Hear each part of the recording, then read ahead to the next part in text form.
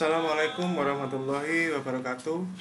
Eh, Kawan-kawan semua, insan pengadaan di seluruh eh, Indonesia Eh, Perkenalkan berjumpa kembali dengan Agus Arif Rahman dengan Arif. Saya adalah penulis buku pengadaan pemerintah eh, Pengadaan barang jasa pemerintah. Ini adalah buku saya Pasal 16, panduan dokumentasi perencanaan, pemilihan penyedia, dan kontrak pengadaan pemerintah. Dan ini adalah buku yang kedua, buku kerja pejabat pembuat komitmen. Nah, eh, sekilas ini adalah kartu nama saya, karena saya fungsional pengolah pengadaan barang jasa ahli media, kemudian juga ada di Ikatan Ahli Pengadaan Indonesia dan Ikatan Fungsional Pengadaan Indonesia. Oke. Sekilas ini juga sertifikat kompetensi yang saya miliki yaitu kompetensi ahli muda. Ini adalah kompetensi yang ada di dalam sertifikat tersebut, SPEK, HPS, evaluasi kinerja dan seterusnya. Kemudian ini adalah ahli media. Ya, ini adalah media. Inilah item-item kompetensi yang saya miliki. Nah, Berdasarkan kompetensi tersebut, izinkan saya untuk berbagi kepada kawan-kawan semua terkait satu hal yang yang sudah diamanahkan di Perpres 16 juga di peraturan LKPP nomor 9 lebih tepatnya di Perpres 16 ya bunyi yaitu tentang review. Review persiapan pengadaan dan persiapan pemilihan ya. Jadi video ini adalah mengulas uh, sedikit uh, isi buku ini ya terutama di halaman kita lihat ya kita dilihat terutama di halaman ini ya di halaman 18 ke bawah ya tentang review. Di halaman 18 ke bawah tentang review. Oke jadi yang bagian ini ke bawah ya.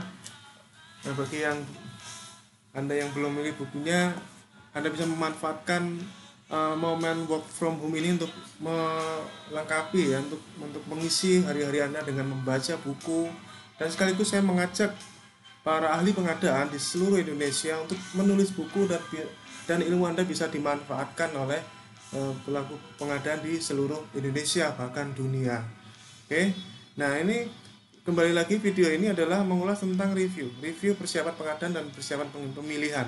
Nah, singkat saja pada prinsipnya di peraturan EKWP 9 itu kita diamanahkan seharusnya Sebelum pemilihan penyedia ada dua macam review yang harus dilewati yaitu review persiapan pengadaan dan persiapan pemilihan. Persiapan pengadaan itu tahap setelah anggaran diumumkan di sirup sampai uh, sampai tahap di mana PPK siap menyerahkan dokumen persiapan pengadaan kepada Pokja atau uh, kepada pejabat pengadaan. Nah, kalau persiapan pemilihan tahap antara setelah Pokja menerima paket pengadaan dari PPK sampai uh, paket tersebut tayang atau uh, pengumuman di SPSE. Nah, ada dua macam review di sini. Review persiapan pengadaan sebenarnya tuan rumahnya adalah PPK. Review persiapan pemilihan tuan rumahnya adalah Pokja. Jadi review persiapan pengadaan tuan rumahnya adalah PPK. Persiapan pemilihan tuan rumahnya adalah Pokja. Artinya tuan rumahnya adalah penanggung jawabnya atau ranahnya. Nah, pada video ini eh, izinkan saya membagikan Anda sebuah template. Template ini sebenarnya sudah ada di sini. Hanya saja pada video ini saya eh, mengupgrade template tersebut, ya. Jadi bagi Anda yang sudah pernah membeli buku ini, kemudian Anda lihat link downloadnya, Anda bisa lihat ada satu folder yang namanya uh, template update. Nah, bisa Anda lihat di situ, Anda download di sini.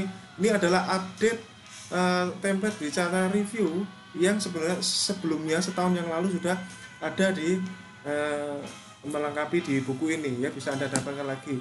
Nah bagi anda yang belum memiliki bukunya tidak masalah saya sudah juga upload nanti di, di linknya ada di deskripsi video ini di YouTube ini. Tapi tetap saya berharap anda bisa menambah koleksi buku buku ini untuk menambah wawasan juga ya. Nah ini adalah upgrade template. Sedikit saya melakukan modifikasi sebenarnya tidak banyak berubah ya.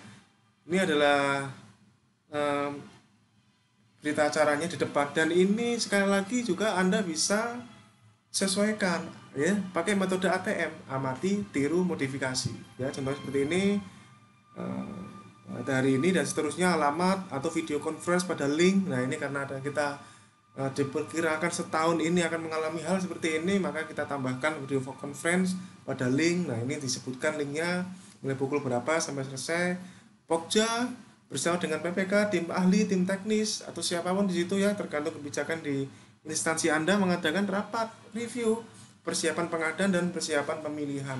Nah, ini yang kita tekankan di sini. Template ini adalah gabungan persiapan pengadaan dan persiapan pemilihan. Ya, ini sekali lagi, template ini merupakan gabungan dari persiapan pengadaan dan persiapan pemilihan. Biasanya sering saya ditanya, kenapa templatenya digabung? Kalau mau dipisah gimana? Boleh enggak? Ya malah bagusnya begitu sebenarnya. Tapi mengapa saya bikin template ini gabungan persiapan pengadaan dan persiapan pemilihan? Salah satu pertimbangannya adalah efektivitas waktu efektivitas waktu waktunya lebih efektif jadi langsung aja kita Pokja dan PPK atau pejabat pengadaan dan PPK langsung melakukan rapat koordinasi untuk untuk saling bertanya dan menjawab di dalam review ini sekalian jadi praktis gitu ya dengan batasan masing-masing sekali batasannya apa batasannya adalah yang menetapkan spesifikasi dan HPS adalah PPK ingat Pokja yang menetapkan spesifikasi dengan apa saudara PPK. Pokja tidak punya kewenangan untuk memaksakan perubahan spesifikasi dan APS. Ya, anda, anda bisa hanya bisa menanyakan ini di review. Pun sebaliknya juga hal-hal yang terkait pemilihan penyedia itu menjadi wewenangnya Pokja. Nah, batas-batasnya ada di sini. Oke. Jadi ini dan review ini dapat dimungkinkan dilakukan perbaikan. Nah, di sini ya, ini ya, dapat dilakukan perbaikan dan akan dilakukan review lagi jadi dalam satu paket pengadaan bisa dua kali tiga kali review ya seperti itu dan ini bagian penandatangan bisa diatur terserah anda ya kalau saya lebih suka model kotak gini ya nah ini di dalam review ini saya sudah mempersiapkan pertanyaan-pertanyaan standar ya diambil dari mana diambil dari sini oke ini kalau anda mungkin agak kelihatan ini adalah isi buku saya ya di halaman 19 ya tepatnya ya ini adalah objek review yang diatur di perlem, peraturan PKPP 9 tadi. Nah, spesifikasi HPS, SSKK, daftar perjanjian, dan persiapan pemilihan. Makanya sekali lagi ini adalah karena gabungan. Jadi objek reviewnya adalah gabungan juga. Ya, gabungan juga. Seperti itu. Nah, ini objek reviewnya. Dengan tetap menjaga uh, dan memahami, saling menghormati hak dan kewenangan masing-masing antara PPK dan Pokja, gitu ya. Dengan tetap saling menghormati itu. Oke, kita langsung ke Jadi ini ada daftar pertanyaan ya kawan-kawan yang sudah kita siapkan berdasarkan uh, regulasi yang ada, ditambah dengan beberapa macam modifikasi di sini. Jadi ada sedikit perbedaan di sini. Ya, ini upgrade. Ya, contohnya seperti ini. Ya, ini kunci kalau persyaratan teknis kuncinya di sini pertanyaan nomor tiga ini ya nomor tiga kuncinya di sini nih ya spesifikasi teknis dan identitas brosur nah, proposal nah kalau proposal ya kita sering uh, menambahkan persyaratan ini untuk pengadaan uh, baru suatu alat yang berupa sistem ya yang cukup alat yang cukup mahal ya misalnya sistem kompleks gitu bisa anda bisa tambahkan persyaratan ini. Proposal teknis uh, total cost ownershipnya pun juga bisa dipersyaratkan untuk paket-paket pemeliharaan. Kita perlu tahu mengetes mereka rencana proposal teknis pemeliharaan mereka seperti apa. Di mana babnya terdiri dari item, 5 item ini ya itu yang sering kita sampaikan bahwa sebaiknya spesifikasi itu tidak berisi persyaratan teknis dan persyaratan kualifikasi. Lihat spesifikasi teknis berisi kewajiban penyedia untuk melaksanakan kontrak saja.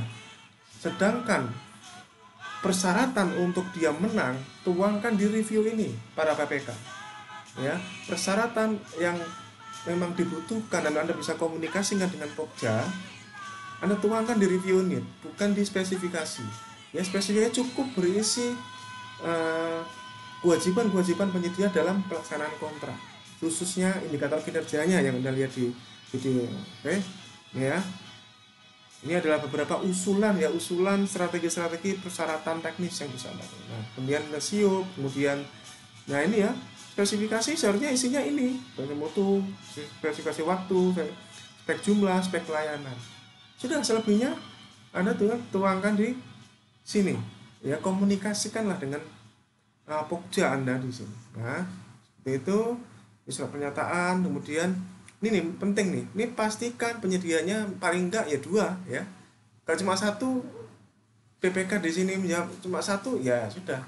Ingatlah di sini adalah ini adalah tanggapan PPK tanggapan dan dan hasil review ya. Seperti ini ya tanggapan dan hasil review anda bisa modifikasi ini jelas ini adalah kesepakatan hasil review ya seperti ini kemudian pada sesi sebelumnya kita menyampaikan konsep pengadaan berbasis kinerja, spek berbasis kinerja. Nah ini dituangkannya di sini nih, ya. Nah, Pokja merekomendasikan struktur spesifikasi terdiri dari empat ini karena ini sesuai dengan DPKPP tentang juknis perencanaan pengadaan. Nah di sini sudah sesuai dengan format.